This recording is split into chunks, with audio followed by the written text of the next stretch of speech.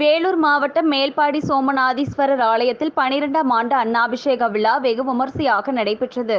வேலூர் மாவட்டம் காட்பாடி அடுத்த மேல்பாடி கிராமத்தில் பிரசித்தி பெற்ற அருள்மிகு ஸ்ரீ சுப்பிரமணிய சுவாமி திருக்கோவிலுடன் இணைந்த அருள்மிகு ஸ்ரீ தபஸ்கிருதம்மாள் சமேத அருள்மிகு சோமநாதீஸ்வரர் ஆலயம் உள்ளது.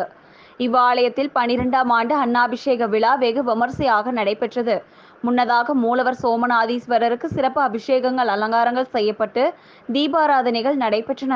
இதில் மேல்பாடி மற்றும் சுற்று வட்டார கிராமங்களில் இருந்து திரளான பக்தர்கள் கலந்து கொண்டு சுவாமி தரிசனம் செய்தனர். அதனைத் தொடர்ந்து காட்பாடி சிவனடியார் குழுவினர் மற்றும் ஸ்ரீ ஆதிபைரவர் அன்னதான குழுவினர் சார்பில் பொதுமக்களுக்கு அன்னதானம் வழங்கப்பட்டது.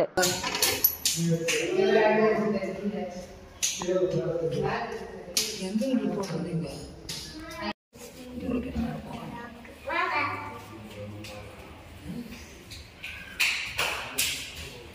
Amen.